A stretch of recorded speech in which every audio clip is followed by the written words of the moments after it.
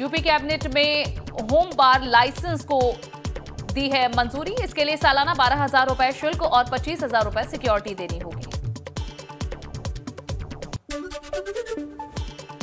सपा नेता आज़म खान को लेकर आज सुप्रीम कोर्ट में अहम सुनवाई। ज़मीन हड़पने से जुड़ा है मामला। अभी सीतापुर जेल में बंद है आज़म खान। आज की सुनवाई पर सभी की नज़रें। अब्दुल्ला आज़म के दो जन्म प्रमाण पत्र मामले में आज सुनवाई। रामपुर की स्पेशल एमपी एमएलए कोर्ट में होगी सुनवाई। आज़म खान तंजीम फातिया, फातिमा और अब्दुल्ला आज़म, इसमें आरोपी।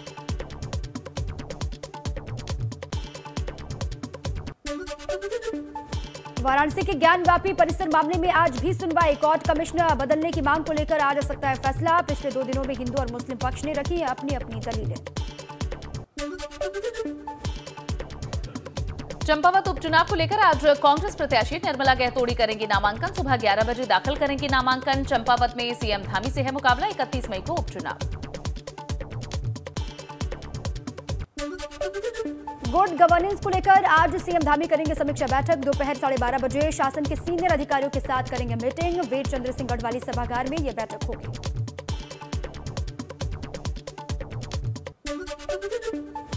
चारधाम यात्रा के दौरान श्रद्धालु की मौत पर केंद्र सरकार गंभीर, पीएमओ के द्वारा रिपोर्ट मांगने पर उत्तराखंड के स्वास्थ्य विभाग के उड़े हैं होश। अब तक 20 श्रद्धालुओं की हो चुकी है जान, हो चुकी है मौत। गोंडा सीएससी कन्नलगंज में मरीज़ को भर्ती कराने और दवा दिलाने को लेकर आपस में भिड़ी दो महिला दलाल। जमकर हुई मारपीट, सोशल मीडिया पर मारपीट का वीडियो वायरल हुआ।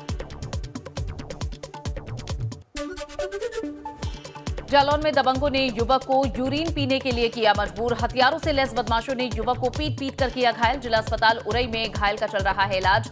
होश में आने पर पुलिस ने दर्ज किया बयान। बीती सात मई की बताई जा रही घटना।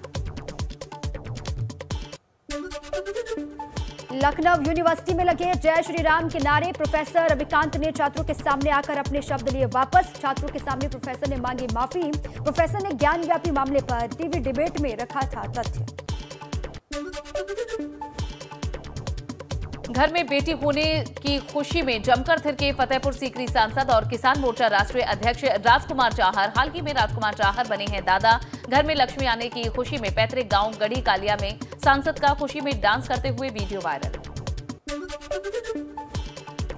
मुजफ्फरनगर में कुख्यात बदमाश विक्की त्यागी के पिता की दबंगई का वीडियो वायरल हुआ। विक्की त्यागी के पिता राजवीर सिंह ने गाँव में मुनादी कराकर दलित परिवारों को खुलेआम दी थी धमकी। मुनादी करने और कराने वाले दोनों आरोपी गिरफ़्तार।